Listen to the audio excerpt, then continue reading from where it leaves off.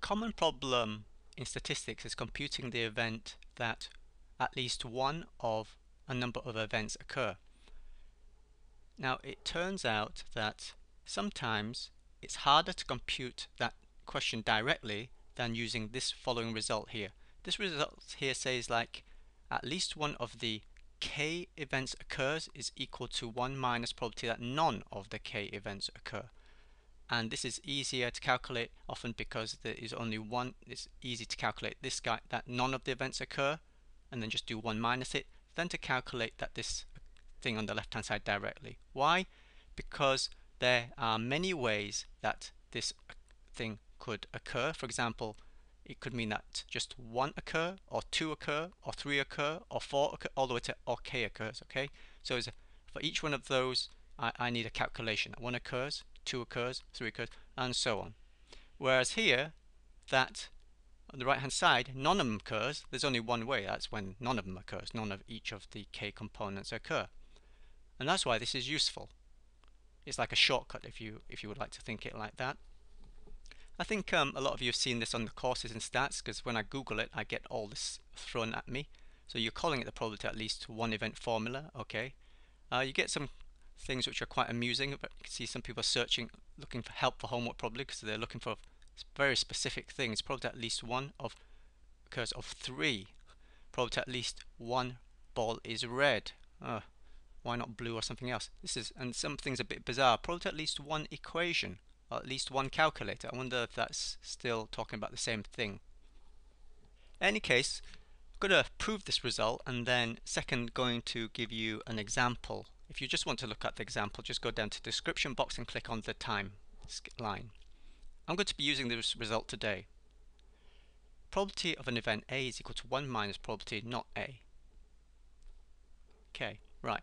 To make the notation more compact, because I don't want to be right to do the proof, I don't want to be writing this every time. So I just let's call that A subscript K. Okay, like that. Or in compact form, it means the same as this. Then just to reiterate, this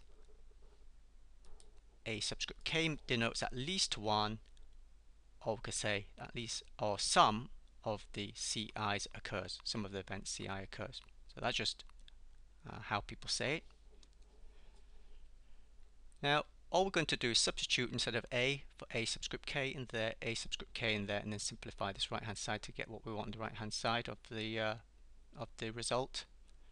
And for that we need to know the following if we take the complement of not uh, 8k, i.e. this, we get this by De Morgan's law. Just to remind you how De Morgan's law works, if I take the, like for two events, A union B, uh, not of these unions, then we, it's this. Okay, so that's all I've done just for more, more uh, just for k events. And now I substitute that into there and this into that and that's the proof. So there you go just right just stating it and that by De Morgan. Done. There is a case where we have experiments where the individual component of the of the events so each of the CIs are independent. In that case we can simplify the right hand side further and I've done it right here in green. Alright so this simplifies to that using this fact that your probability A and B is probability A times probability B, right? If I have two events, and if A and B are independent, then this holds. Let's just done it for K events, so we could say that if each of the CIs are independent, then this is equal to that. We can rewrite this using again probability A is equal to 1 minus probability of not A idea, i.e. this is equal to that, and so on. If in the question we're given the probability of the events occurring and instead of the probability of the events not occurring as in this first formulation not not occurring that they do occur yeah? And this holds when the CIs are independent. So that simplifies the calculation. Now let's to see how this thing actually works. Let's look at a question. Suppose three fair die okay got the number three here so maybe that's what they're searching for. Three fair die are rolled let AI be the event that a 6 shows on the ith die, okay, for i is 1 to 3, and then calculate probability A1 union A2 equal union 3. Right, key thing is what does this A1 union A2 A union A3 mean? Think about it yourself, pause the video. You might think about does it mean like one occurs or two occurs or three occurs exactly? Well, what does the meaning of A of AI? What is this thing? All right. So continue on. Key point is, I, yeah, what is the meaning of this? Well, call it AI means is the event that event 6 shows on the ith die. So this means it shows on the first die, 6 shows on the second die, 6 shows on the third die. It means then that some, or at least one, of the three outcomes is a 6.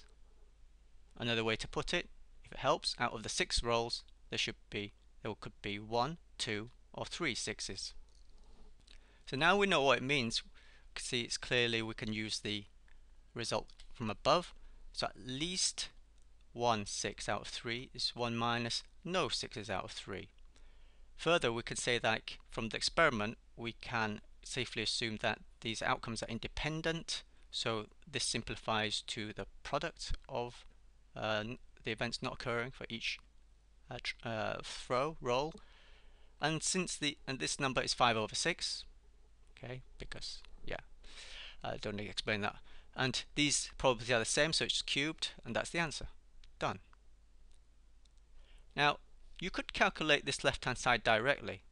If you did that, notice you would be doing probability of 1 6 out of 3 plus probability of 2 6 out of 3 plus probability of 3 6 out of 3, right? And add them up together because the AIs are mutually exclusive. And that is more steps than just doing this. And so again, we emphasize the point that sometimes calculating this directly is a bit of a headache because it involves a lot more calculation than using this formula 1 minus that none events occur because there's only one way that that can occur and that can simplify further if those events are independent because then it's just a product of the uh, events not occurring.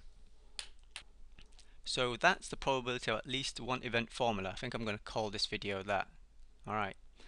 And uh, now you've got that, maybe we can go. you can go ahead and solve the problem at least one ball is red or your equation or at least one calculator, whatever that means.